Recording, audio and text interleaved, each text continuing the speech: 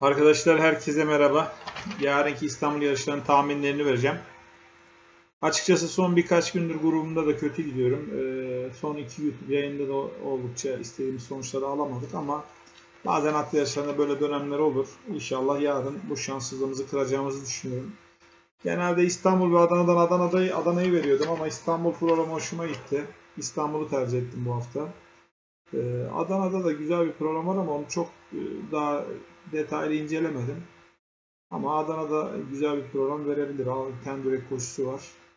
Bilmiyorum belki onu da sabaha değerlendirebiliriz ama şu anda İstanbul'u vermeye karar verdim. İstanbul hoşuma gitti. Evet günün birinci koşusuna geldiğimizde 7'li plasa ayağında 8 numara Önderhan'ın iyi koşacağını düşünüyorum. Bence 7'li plasa için yeterli olabilir ama tuttuğunuz at varsa kapalı gözün yanına kulaklığı deneyecekler. Uzun mesafe bu atın kaba kumu yok bence. Sentetik ve çimi daha iyi. Çünkü orijinal olarak Akar Necat'ın kardeşi anneden. Bakalım başka kardeşi var mı? Akar Necat'ı hatırlıyorum. Peköz gerçi e, Peköz de kumcuydu ama o da Kara Kemal'den gidiyor olabilir. Yani sanki sentetiği ve çimi daha iyi olacak gibi görünüyor. Ben 8 numara Önderhan'dan iyi bir yarış bekliyorum. Günün ikinci koşusuna geldiğimizde yani 4 numaralı Muzo Baba'dan iyi bir yarış bekliyorum. E, ağır kilosuna rağmen bu grupta etkili bir at e, iyi koşacaktır. 8 numara Çerdi'nin son yarışı çok hoşuma gitti. 52 kilo. E, yarış biraz hızlanırsa Cemal Paso iyi yerlerde dönebilirse bu yarışı kazanabilir. 4 ve 8 önde bende.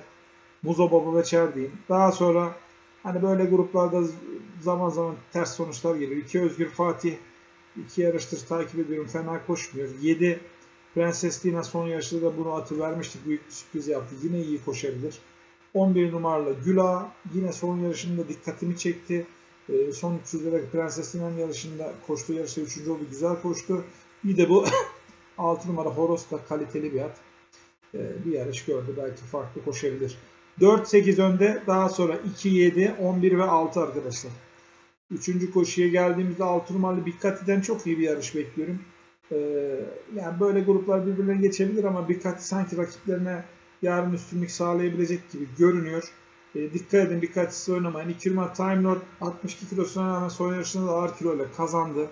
13 numaralı Overtron fazla startta kalmazsa iyi bir yarış yapabilir 50 kiloyla dikkat. 12 numara The Globe son yarışına sinyalliydi bu at. E, beklenen yarışı yapamadı ama yarın iyi koşabilir.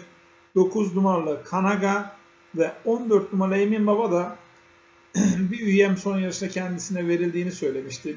O gün için pek şans vermemiştim. Acaba böyle atlar genelde bir yarış sonra sürpriz yapabiliyor. 50 kilonun avantajını kullanmaya çalışacak. 6, 2, 13, 12, 9 ve 14. Evet geldik günün 3. ayağına. Bence günün en zor yarışlarından biri. Dişilere ait 2000 metre olan bu yarışta. İlk şanslı at 8 numaralı şans kaynağı. Kürüs de var. Ee, son yarış kötü olsa da genel olarak iyi koşan bir at. 5 altın suyu fazla startta kalmazsa etkili olacağını düşünüyorum. 2 ee, numaralı Meltem Kız zaman zaman iyi yarışlar yapıyor. Ağır kiloları kaldıran bir kısrak. İstanbul'u seviyor. İstanbul'da kazandığı yarışlar var. 61 ee, kilo diye ihmal etmeyin yazın. 3 numaralı Sabır Çiğ grubun kaliteli kısraklarından etkili olabilir. 9 numaralı Cuda yani tuta tuta geliyor. Arttıramıyor bazen. Bazen de arttırıyor. Dikencik yani yazmamız lazım. 10 numaralı tatlı çağdan bir ters yarış gelebilir. Bir de bu 11 numaralı genç da bir dolu bir boş misali belli olmaz. O da boş kiloyla etkili olabilir. 8, 5, 2, 3, 9, 10 ve 11 arkadaşlar. Günün 5. koşusunda 3 numara turbo dizeli küçük oynayan arkadaşlar banka olarak yazabilir. Son yarışına bayıldım.